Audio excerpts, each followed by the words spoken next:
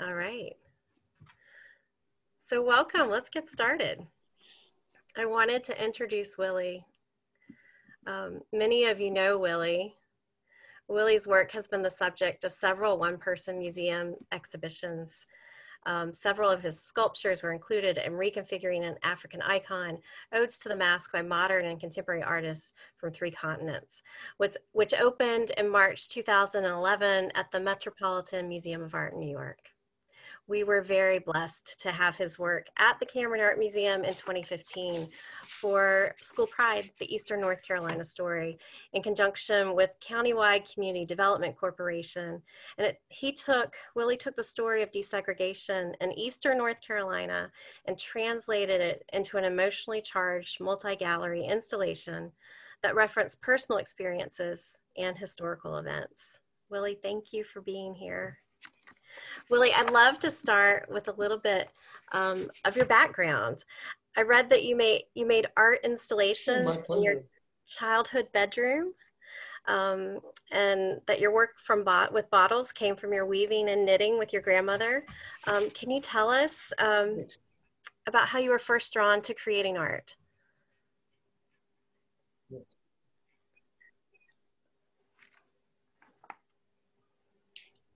Well, as hokey as it might sound, I usually answer that question by saying that I was an artist in a previous life. So it just came to this time with me. So I don't remember the exact origin other than that. I know that at three years old, my mom found me in the kitchen drawing comics from the Sunday paper. And that's when they said, oh, an artist.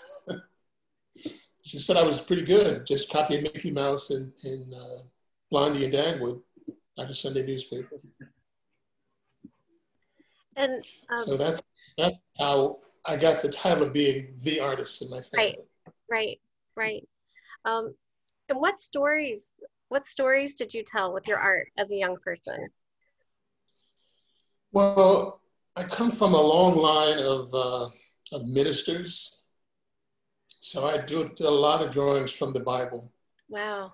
You know, creation story I did Moses, those kind of things. But also without, I would say, it's probably clear to say I also did the story of Africa America because my family subscribed to Ebony Magazine and Jet Magazine, and I would do drawings from those every week.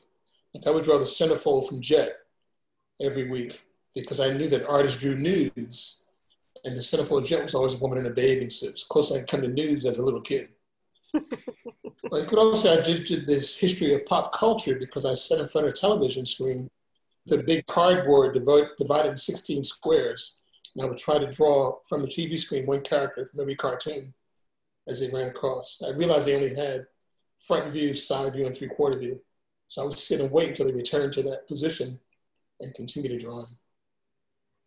So I think that's the answer.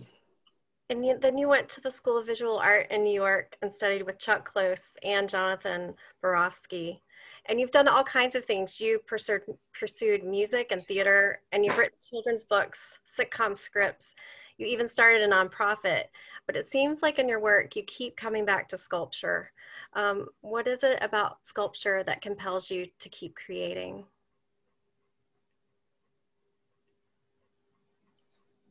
Well, if you take those approaches to create creative expression, writing, music, performing, and visual arts, I have always done them all equally. It's just that the world only pay attention to my sculpture. Oh.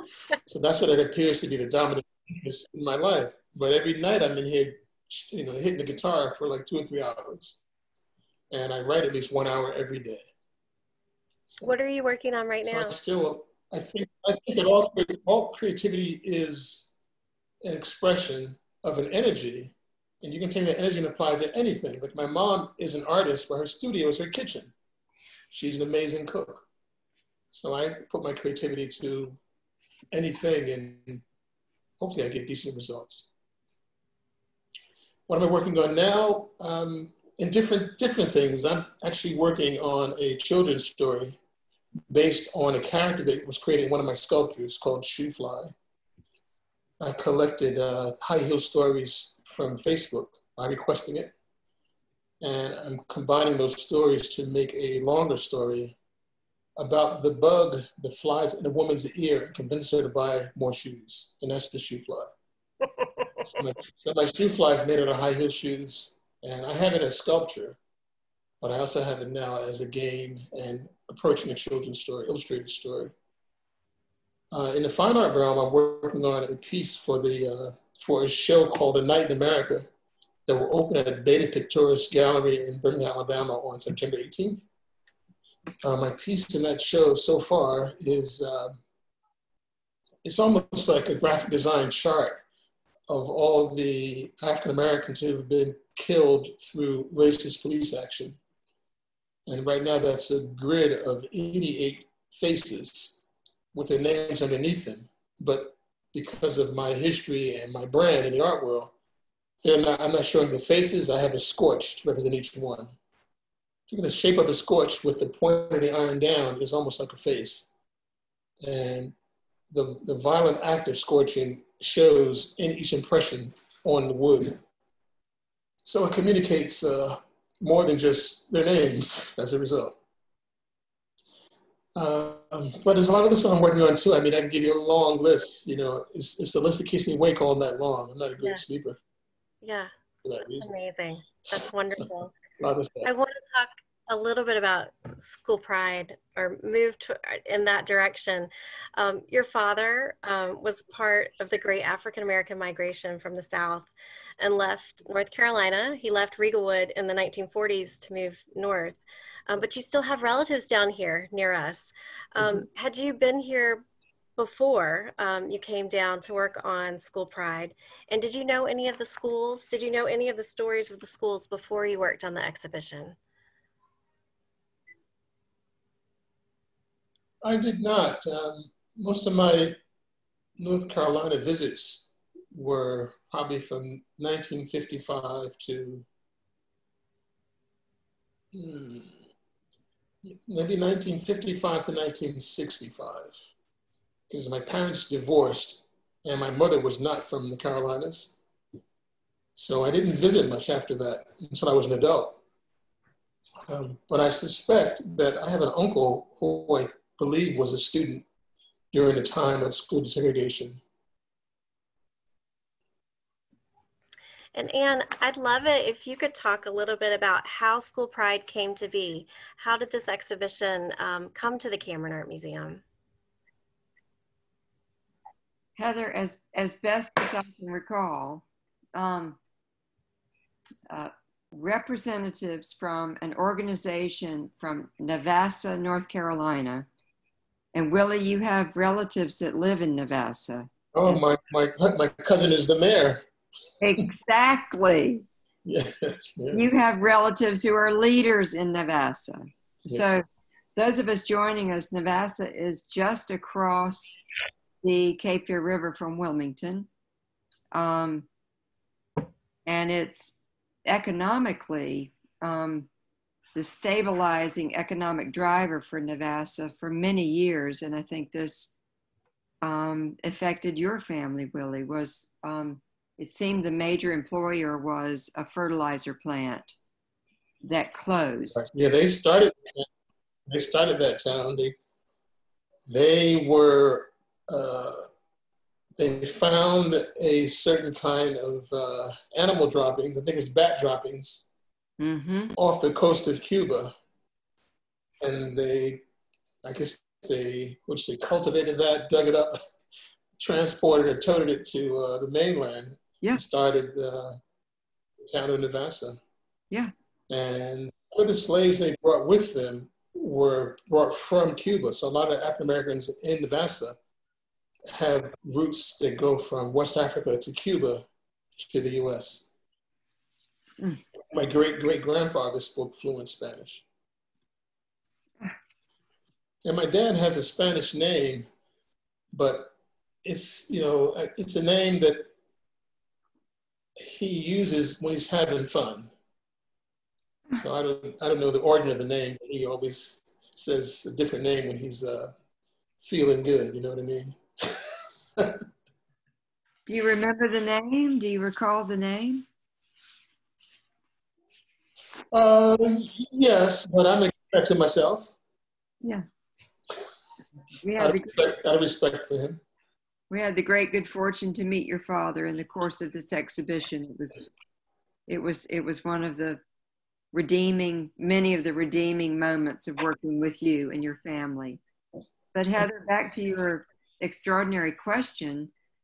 Um, we received a phone call from representatives of an organization called Countywide Community Development Corporation out of Navassa. And they wanted to meet with us regarding a compelling idea for an exhibition. And we said, sure, absolutely. And so, an, um, a fierce, a proud, a brave woman named Juanita Harper um, came to the appointment with other members of the corporation and said, Anne, thank you so much for meeting with us. We have an idea for an exhibition, and um, we are all members of, we are all alumni of schools that closed in southeastern North Carolina. We are representatives of 16 schools that closed during the kickstarting of desegregation in southeastern North Carolina. Well, my ears perked up because I'm from Wilmington, North Carolina, and um, not at all experiencing what Juanita and and her compatriots experienced, but but I was um, a white kid who was bused to um, Williston School, which was the premier African American school in our region. I mean, it was it was the excellence in music and sports and academics and you name it. Williston was a real contender in Wilmington, and I knew that growing up. And for some reason, Williston was closed very um, suddenly um, during 1968 in order to hasten the work with desegregating schools. And so these individuals were from schools that were equally suddenly closed to effect um, the first stages of desegregation in North Carolina. It's my understanding that a high school in Charlotte started, it was the first school that was closed and it was an African American school that was closed to start this process. But Wilmington and southeastern North Carolina followed this rigor, this sudden and violent um, application. And so, of course, when Juanita came in with her with her friends, fellow alumni from schools that were closed, it personally resonated with me because I was somewhat involved with with that act with my own life as a ninth grader. And so i said juanita this is this is an important subject. We are honored that you came to us but i must admit i am mystified as to why you came to Southeastern North Carolina's Art Museum with this thesis, with this theme for an exhibition. May I ask, why did you not seek out a history museum? And she said, Anne, art heals. This exhibition must take place at an art museum. And so I said, Of course let's proceed. And we had not the faintest idea what on God's earth we were going to do, but we knew we would do it together. Yeah, yeah. And um, so that that was the that was the spark of it, Heather. Please yeah. please continue. That that's extraordinary. What an extraordinary thing for Juanita to bring to you. So so so you guys were given this this historical story to tell that has deep personal meaning and emotional impact. Um, how did you, I guess this question is for Bob, Anne, and Willie, how did you go about articulating that story through an installation? And I do, I have pictures that I can, I can share too, um, if you'd like to use those to talk um, while you're talking about it. Yeah, I'd have to say, go ahead, Willie. I was going to say Juanita and her organization really told the story. Yeah. They all donated things and shared conversations. And we just kind of just interpreted that to make it a visual experience. Uh, even you, you interpreted that, making that a visual experience. Well, you, you helped me a lot. You helped me. You helped me find that, that wood debris and carry it back. That the beauty. Yeah, but I feel it was it was their stories. Maybe for me, it was also a lot of curiosity.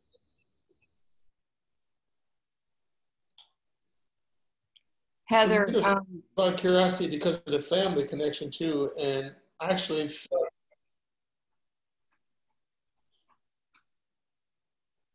I felt that it was some magic in there because you guys did not know that I had a connection to the town of Navassa when you brought me on board.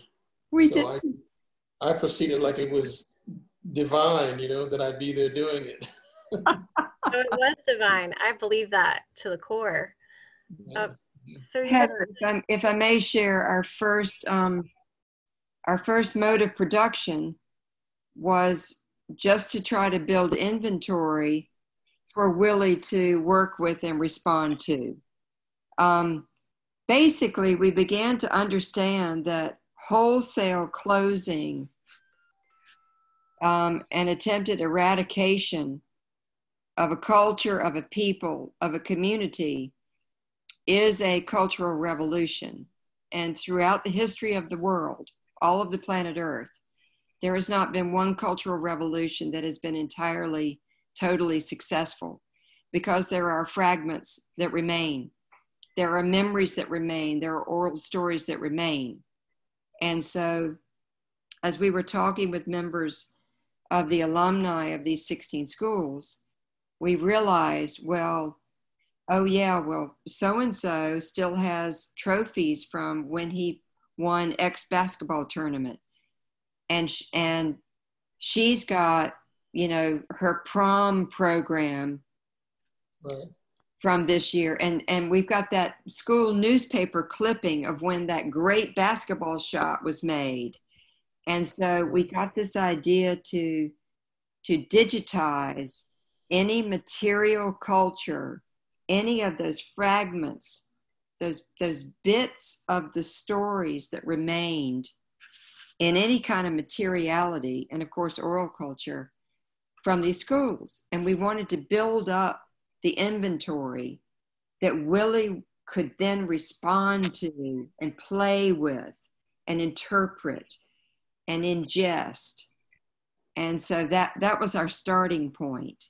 Because mm-hmm. he he had so much to bring to it already, but we we very much wanted to tie he was so respectful and responsible to to to building the stories from from the 16 schools but but he needed the inventory to play with and do you have any idea how many people from the community contributed in that digitization day that we had at the cameron art museum?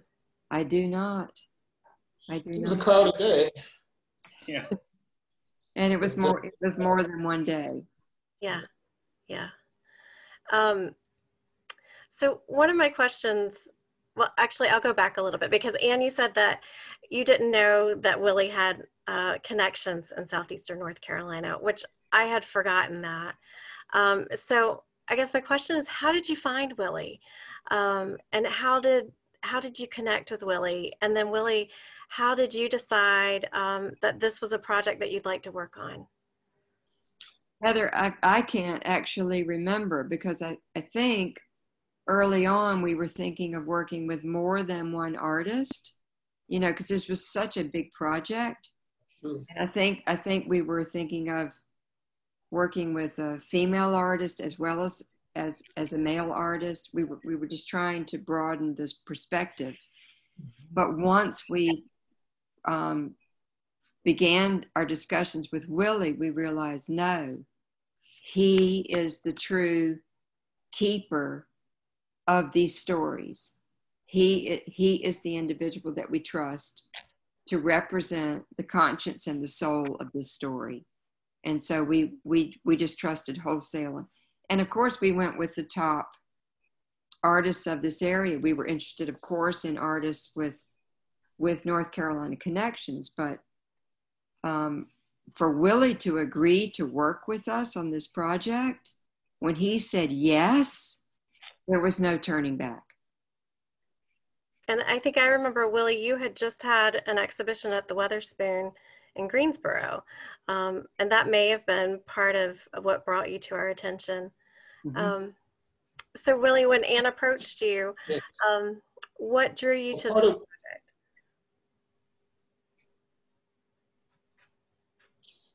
Well, the fact that uh, you know I had those Navassa roots, mm-hmm. and that I have had a disconnection once my my parents separated from my Navassa roots. Yeah. But I'm actually still reestablishing today. Yeah. But I saw it as a chance for me to uh, understand. Well, really to understand, you know, why my dad and his brothers all had GEDs or nothing at all you know, considering the school structure there. Uh, and trying to update my memory of the Carolinas, because when I would visit as a little kid, it was just a, a big farm, like a hog farm, you know, with dirt roads and uh, just like Tom Sawyer's kind of. Um, so it gave me a chance to, to visit family in Navassa and get an update on the town itself and it was just beautiful, a beautiful dive into my own family history in a lot of ways. Did you learn anything about your own family in the process? Well, let's see. Well, I did learn that my, my uncle Freddie went to school with some of the people on the committee. They remembered him from the school, and he did not. He didn't graduate, but he did. He was part of the whole uh, school uh, change there. And that's, that's the most personal thing that I learned. Uh, actually, more personal things I learned that a lot of people are my cousins. It's funny, I had the same experience on Instagram and Facebook. Suddenly I had cousins I didn't know I had. So I learned that when I was there. Uh, when my dad came to the opening, I had a lot of cousins there also that I didn't even know. And for most of them, this is the first time in the museum or any museum at all. So I was proud to be that bridge for them. Absolutely. Absolutely. I'd like to go through some of these pictures. Um, all of you watching, you can see this is the list of the 16 schools that were closed. And on the right, Willie, can you tell us a little bit about this image? Um, we have the blackboard in the back and the desk yes. in the foreground. Yes. Well, this image shows a classroom, and the classroom, I think, contains either four, five blackboards. I started doing blackboards uh, many years ago, realizing that whenever I speak about American culture or American history, my roots of knowledge come from being in a classroom. Mm. So now I use the blackboard to address those things by making senten- sentences that I call backronyms that are the key words each letter of the keyword becoming a new word. Like uh, the one image here, the keyword is black at the top, but each column are words that begin with, with that letter. And I know one of them in my memory says B-L-A-C-K, be like a colored king. So they're saying things like that, but from all different directions, pro, con, positive, negative, PC, un-PC, yeah. almost sounding like, uh, like uh, from the newscast or newspaper. Right. I mean, I got this style of writing from Ernest Hemingway. He would really write short, short sentences that just hit it right on with every word. So that's what I attempted doing these pieces. So in this show, I have the, the word black and the word white, of course, but also the word civil and the word right for civil rights, and then a, a board that people could uh, write their own backronyms on. I forget what the key word was on that board, but I have, I still have a couple of these boards in my storage bin now. And we have one in the museum. Um, so it was a classroom environment that included. Yeah, I'm glad too. we are too. We are too. Uh, I'm doing one now with the word virus, actually. Ah. Yeah. Are you a poet? Do you write poetry? Well, if you need, if you need an assistant or a prompt, let me know. I write songs. I guess it's kind of like poetry. Yeah, yeah. When I, I was in high school and college, I was part of a traveling group of poets, and we did a lot of poetry and drum. We were like, we were like the last poets, or like Gil Scott Heron. There were four of us, and we would just drum and recite poetry all oh, over New York amazing. City. That's amazing. And nowadays, I pretty much write songs, screenplays, and short. Got. Yeah. I'd love to show another picture. So that notebook, I guess, is where people were writing their their thoughts. Right. Yes. Willie. Um, yeah, since the whole thing was about being transported to other schools, I decided to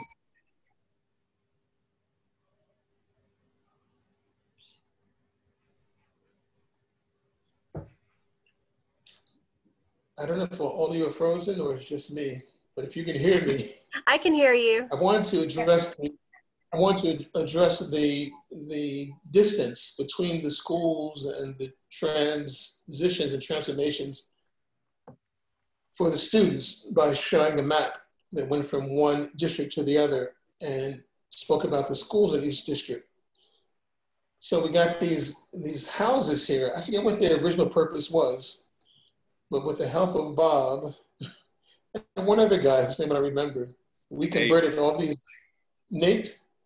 David. David. Mm-hmm. We converted all these houses into schoolhouses. We even changed the look of them on the outside. And inside, there's a, a small video monitor that is showing uh, photos collected from the community uh, where each school is located. Those photos, of course, were submitted, you know, by by the uh, CD, what was it called? CDS, CDC, Community Development Corporation, CDC. CDC. Yes, they gave these photos. So we have a monitor at each one, so you can you can follow the route to the school you went to, and you can stand and look at images of your high school days inside the schoolhouse. Willie, was there any additional pressure, or did you feel any additional pressure on you as an artist because you were working with people's personal objects and mementos. Um, did you feel, um, was that difficult for you? Um, well, no, my, my way of working is to not think of myself as in charge. Yeah, well said. So it's just about, you know, like I wanted, I want to drink this pineapple juice, and it's in the cup, but the cup is not in charge. So it's, it's kind of like that. So I am the maybe the breaker switch that has to be turned on to allow the energy to run through to make the creative process yeah visible. And, and you could feel that in that exhibition. You could feel that artist as almost a conduit um, to tell this this greater story. Okay, let's see if I can go to another picture.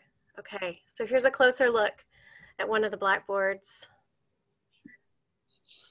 Yeah, so you see they're marked up almost as if they are in a schoolroom when a teacher corrects your paper. Mm-hmm. They cross words out and add other words in. So of course, as an artist, that kind of ties me to uh, neo-expressionism and graffiti, but also uh, ties me to education learning process. Yeah. Mm-hmm. Uh, also, I worked for several years as a graphic designer, so the colors of red, black, and white were, were said to be the most powerful colors for communication back in the 70s. Also, with my, my interest in tribal arts and tribal culture, red, black, and white are the colors of the warrior spirits. Hmm. So, seeing these colors triggers that subconscious awareness in people. I mean, if, if those stories are true and these colors have warrior power, when you see them, you get the vibration from it. Hmm. If you don't know the story, you appreciate the graphic design quality and strength of the combination. But as I as it as it as it goes through me, I'm aware of all these things. Yeah. And most of these sentences are, I mean, I could have said almost anything. I try to really make them relevant to race relations and relevant to the key word. I think the expression, I tried to make them conceptual as well as contextual. So, I mean, I could have said, you know, like Barbie loves anything called Ken, but that has nothing to do with black. That was amazing.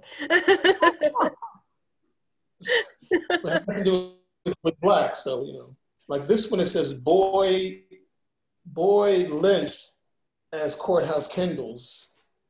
That makes me shiver. Yes. You know, I have, I have acronyms in my computer for the word God.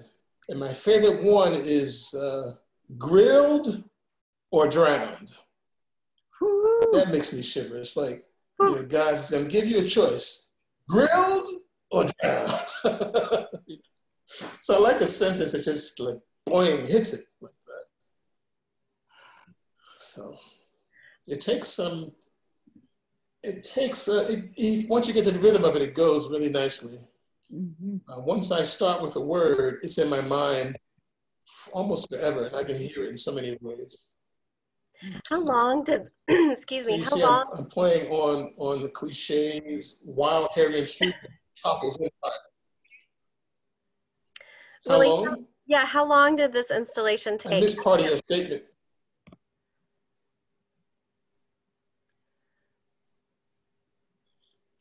Oh, the entire installation may have taken a week or two, maybe two weeks. That, that sounds about right. I think I we think two weeks.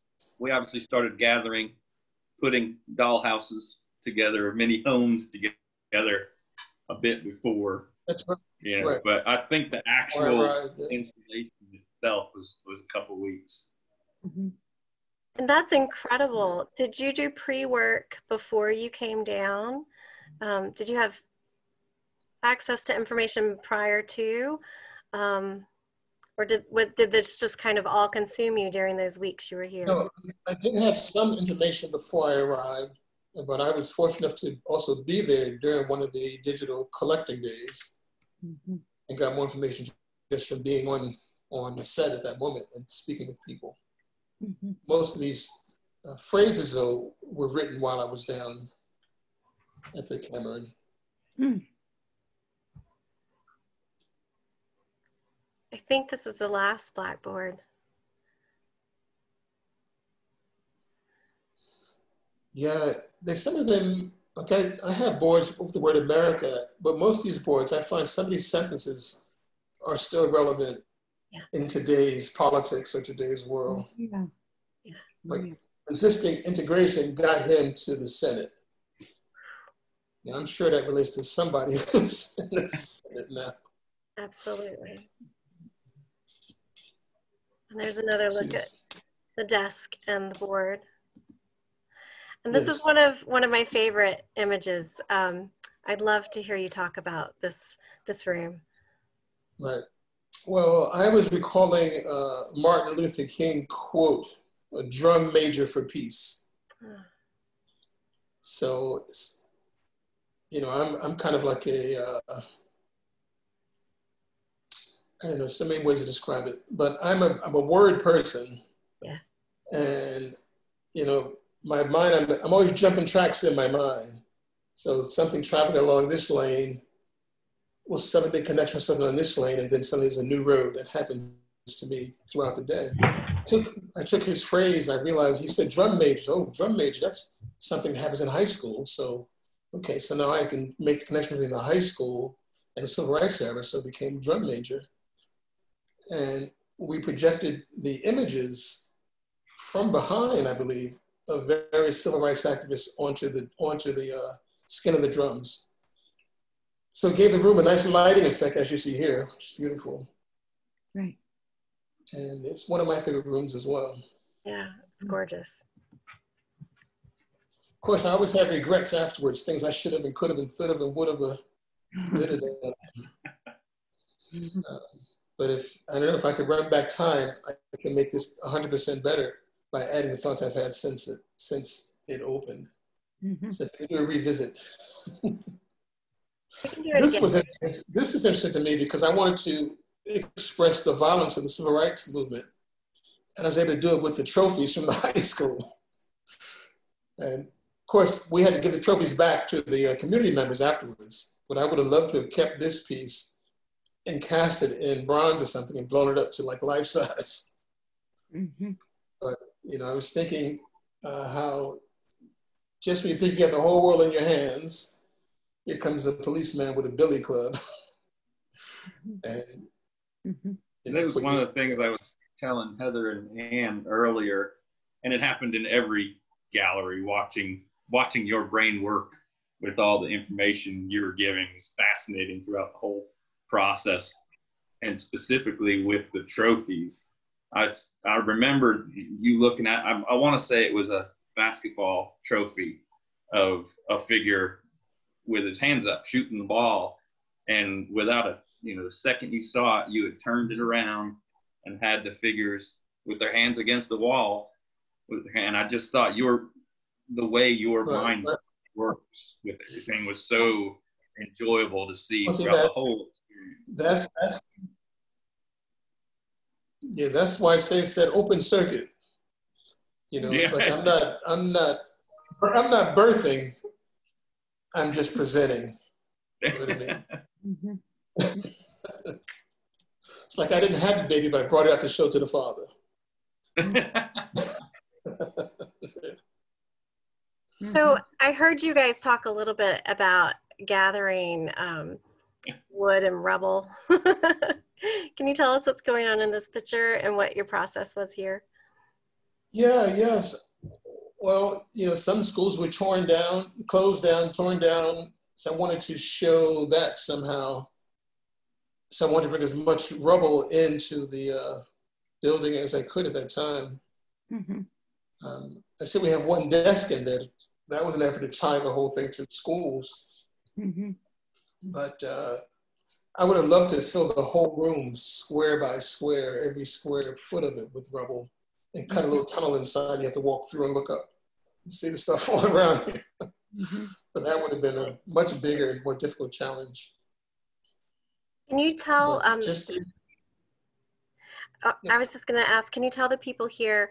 Um, about the process that you guys went through to gather this rubble and to bring it into the museum? Yes, I think from my travels each day, I noticed certain areas where I could get scraps and rubble. I forget where they were, what the locations were, but I know with the help of, of Bob, we did find piles of, of uh, discarded or torn down building materials. And I remember, I guess Bobby must have had a truck or something. We loaded up and we yeah, I can't remember how we got it. Yeah. Well, I know we found it close to the River Road. Yeah. What's that? Yeah, I, I don't remember how we got it either, but I remember, you know, what I really remember is standing there looking at the rubble outside of the museum and and being there and it was either mud or snakes that got a big reaction from you. Snakes. Snakes. I remember that very clearly. it was a big black snake. Yes, it was a beautiful snake. I think it was the first guess. board. It was the first board that you picked up, I think, and that snake was laying underneath it. Before she was moved around to the other side. Fortunately, I was working with a snake hunter, so there was no problem.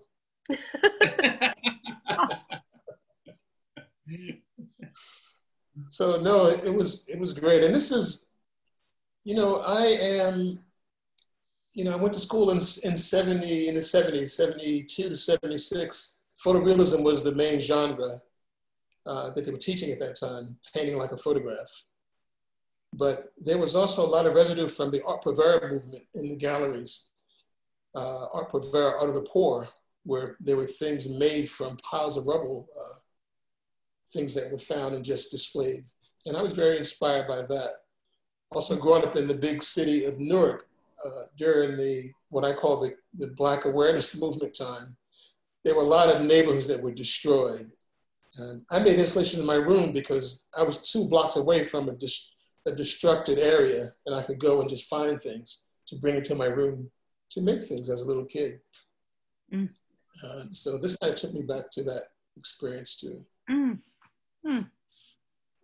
Willie, I think one of the things that affected me so deeply about this exhibition, and I still don't know that I can articulate it, was the energy. You could walk into the Brown Wing and you could feel this. It was palpable, um, the energy of memory um, in the exhibition. And I've heard you talk talk about energy and this work, and I'd love to hear you talk a little bit more about energy and how it connects with um, with with the work that you create, not just School Pride, but um, your your other works that you create. Right. Well, I I don't want to say I think. I, I would love to say I know, but I can't give you any written proof. So, but I proceed as if everything in the world is energy. Mm-hmm. All that we see is an illusion. Yeah. But what really exists is just energy. Yeah. And the energy is pulsating. Everything around you is in motion, even though it looks still. Our perception makes it appear still and solid. So when two things are vibrating at the same rate, they join together and create a different illusion. So like in this piece here, I wanted the energy of destruction and rubble. So of course I'm gonna bring rubble into the gallery. Uh, so my desire brought me to that awareness that brought the piece into the gallery. Um, I think it, a lot of it begins with, with my desire to, to bring the energy out of something because this is a question I've, I've received before from people, and I try to analyze it it makes sense, but it is some, somewhat esoteric and really hard to explain. Like I, I think about the aesthetics of uh, some of the, say, the Yoruba traditions or, or Congolese imagery, where the compression of materials, you can feel it, but it's a physical compression of energy that that makes the sculpture, and you can feel it because you can see it. Mm-hmm. So, so to make it academic, I, I didn't. I tried to think about the uh, the higher faculties of the human mind, and touch and employ as much of that as I can in each piece. So that would be um, that would be intelligence, intuition, memory, will, imagination. Yeah, I think that's it.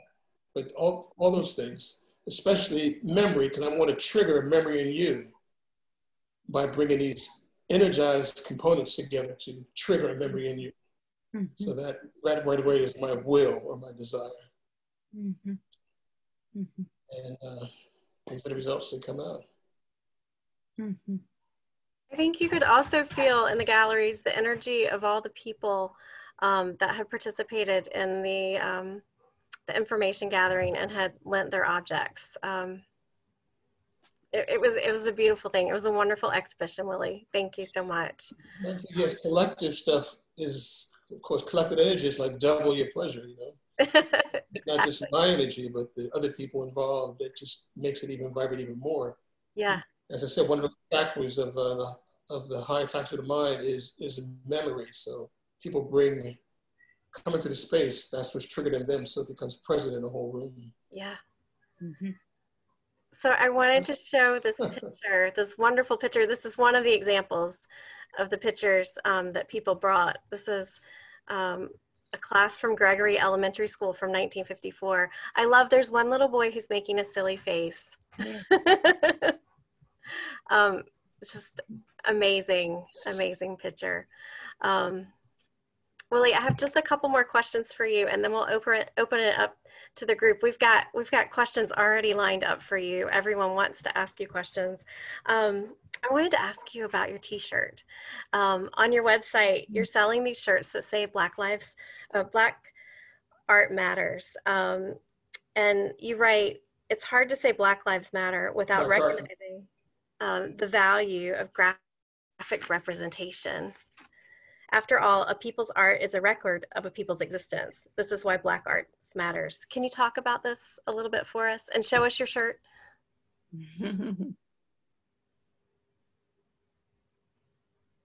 Oh, well, that's the easiest part is showing the shirt. we all want your shirt. and everybody, you can go purchase one of these shirts on Willie's website, and I will put the link. But you know, I, I,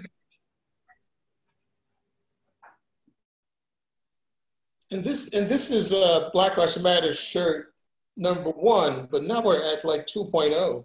It's a much nicer shirt where this comes in different colors. You can get it in gold or blue. And there's an image on the back to represent my my work personally, like a scorch on the back. oh, Very cool. So this was my pet cor- my pet project, but it's grown into a bigger thing through collaboration with another with a bigger company now. But it has to do with my experience as an artist. You know, um, in the 70s, I was part of a demonstration in front of the Newark Museum because we felt there was no black art in the museum. And we, we did a tremendous uh, protest involving fire and music and everything. And um, throughout school, I, I went to art school in the 70s, but never studied about any black artists. We just studied art. Even in high school, and I went to high school in the city of Newark, uh, we studied European art, classical Greek art, and but once Amiri Baraka came to Newark, uh, or LeRoi Jones was previous name, we suddenly started studying African art in high school. So that was that was great. Uh, but then in the art world, the so-called professional art world like that, that I entered in the 80s, I recognized that none of the galleries, or few of the galleries represented black artists. It wasn't until Jean-Michel Basquiat passed away that every gallery went out and got one black artist. So all that led to this awareness for me.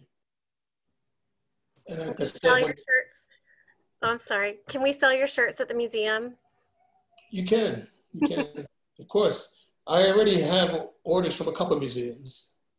And I partnered with a company that specializes in museum uh, gift shop distributions. So they're now doing all this, all the work for me now. But originally it was my daughter and I just doing this. Well, when we get to so reopen. on my website, you can place your order. Yeah, yeah that'd be great. Awesome. So I just have one last. So um, yeah, so the world is changing listening. Oh, I just wanted I wanted to know if you could tell us a little bit about your work that's for consideration um, on the High Line in New York City. Ah, yes. Okay. Thank you. Thank you for bringing up these moments of like commercials in, in the midst of the main program. I appreciate that. it's all great stuff. well, the High Line for people who don't live in New York, is a beautiful elevated park area that used to be a subway uh, track. And they have art all along the trail. And it goes for many miles. I, am not sure how far it goes. I don't live in New York, but of course I've been to the High Line. But there's one area that has a plinth that is a pretty good sized plinth. And they commission an artist to put a piece there every, every few years. And it's all by nomination, and I was fortunate enough to be nominated this year to present a concept. Um, I chose to do something made out of high heel shoes because I'm really into that for the past 10 years. uh, the shoe is a great building block. It contains so many shapes and forms, comes in different colors. It's a loaded object. It means something to everybody. Everybody's got a high heel story. They hurt my feet. I don't like them. She looks good in them. There's always something about a high heel. So I took all that awareness to make a totem pole or totem like piece from high heel shoes. And that's what I proposed to the High Line. So. So I've put the link in the chat box. So if you'd like to vote for Willie Cole's um, sculpture totem, you can. you can go on that link and, and you can vote. We all, so we selfishly would like to see um, your art on the High Line because you're in our collection. Um, so maybe a couple people from North Carolina will, will help you. you know, this, this must be my lucky day. Say that to the world right now. Really, is the sculpture going to be in an addition? Uh, no, because this sculpture on the High Line will be 30 feet tall. Oh my gosh. And probably about 12 feet wide. Wow. They give us that, they give us that option anyway. So. Wow. Have you I ever done anything that large before? I have a piece uh, in New York, uh, in um, Long Island, not Long Island City, but down near the water in New York in front of a school that is the entrance to the school, but it looks like a stack of books. Uh, architectural, it's like four vertical books this way, one across the top that's open to make the roof. Uh. And it's the entrance to a school. And that's, that's probably my largest public art piece so far. Very cool. But I'm working on my studio now in some paintings that are like 15 feet tall by oh 8 feet wide. Those are my largest paintings ever. That's fantastic. Well, we've got some um, some questions. I also got some comments from folks. Um, so Teresa says she's in California, but she'll vote for you. Um, Liz says that she wants to see your work in Wilmington and our local pet art program. She's totally right. We need your work here. And Lane says, I regret I have to go, but thank you so much. This has been a wonderful conversation. We first connected with Willie Cole at the Weatherspoon in 2013. Thanks for sharing your tremendous vision. And then we've got some questions. Um, so Jim asks, you came from a background of ministers. Do you see yourself and your art as a ministry? a great question. That's a Bible Belt question or what? um, yes, I could say yes to that. You know, I see creativity, creative expression as a calling. And the highest level of creative expression is the one where the artist let goes and lets God. And the power of imagery, as we spoke about regarding the t-shirt, the power of imagery allows you to influence, manipulate, sometimes even control mass thought or attitude. And that's pretty much what a minister does. So yes, I would say yes. So Phoebe has a question too. Phoebe says, has anyone ever said the high school sports trophies could also refer to Wilmington, North Carolina's Michael Jordan. He played baseball after he retired from the Bulls for the first time. Uh, if they were standing up by the trophies, they would definitely be more obvious there. But I think that any successful work of art communicates more than one thing. So the fact that she can look at those trophies and see Michael Jordan is a good thing. Yeah Yeah. especially because the way Michael Jordan's father, he died in uh, violence. Yeah. Like to yeah. see that, uh, yeah, so this connection. It's all about, like I said, jumping tracks. So we've got another question. Yolanda says, why is it that a classic blackboard gives chalk words so much power? Why is it that a classic blackboard gives chalk words so much power? Well, the, the blackboard is the road, the chalk is the car, and the writer is the driver. Mm. So the person doing the writing was, was what really gives it power. But the perception of the speed of that vehicle in the eye of the viewer has to do with their own association with speed, power, and energy. So if you see it and it's powerful, that's because you recognize power based on your perception of power. You know, like I could write the word black. Like too, like a five-year-old kid who knows how to spell, see the word black, it's just the color black. It has, it has to do with her crayons. Yeah. But if I write it in a high school in uh, Navassa, North Carolina, in, in 1964, nobody thinks about crayons first. They think about skin first. You know? If I write it in this in uh, Salem, Massachusetts, during the witch branding trials, the first thought is going to be black magic. So you know, perception is a possession is one tenth of the law. Perception is perception is ninety nine percent of understanding. Yeah, absolutely.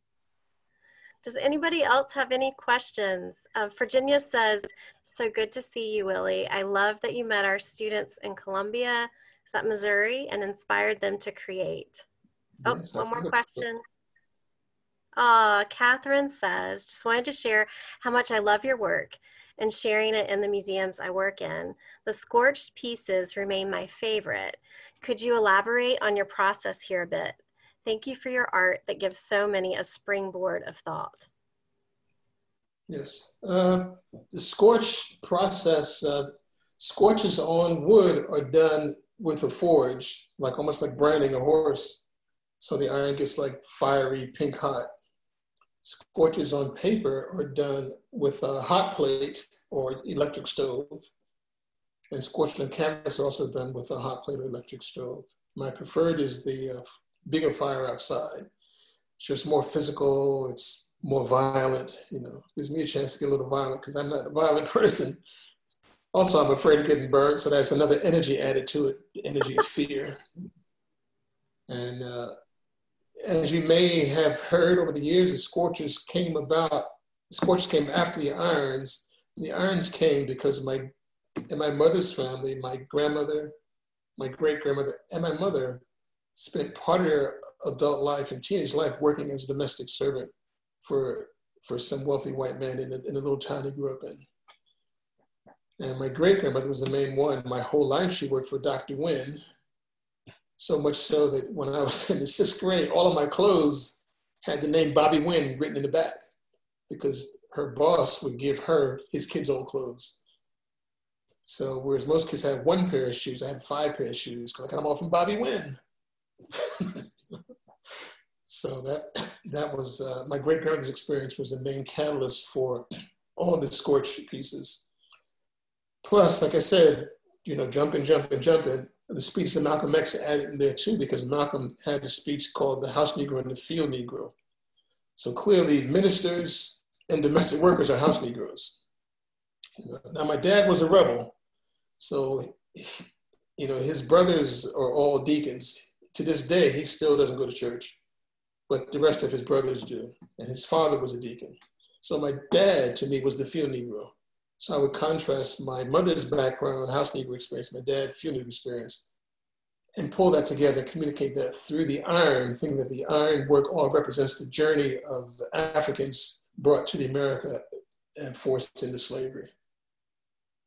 Wow. And you can find a lot about that on YouTube. I get asked that question a lot. There's even a video of me scorching on YouTube. So you can see me doing doing my current project outside. Very cool. You know what we're all going to be doing after this? We're all going to be looking for those YouTube videos.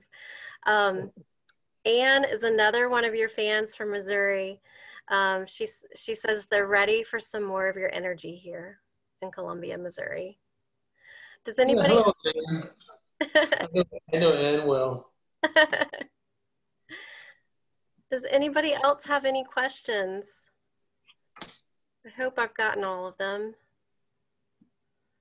Well, I want to say hello to Jim Sokol, one of my favorite people in Birmingham. Ah. Watching. This has been, oh, one more message. What a wonderful evening of conversation with Willie. Thank you all. And yes, I will be looking at the videos.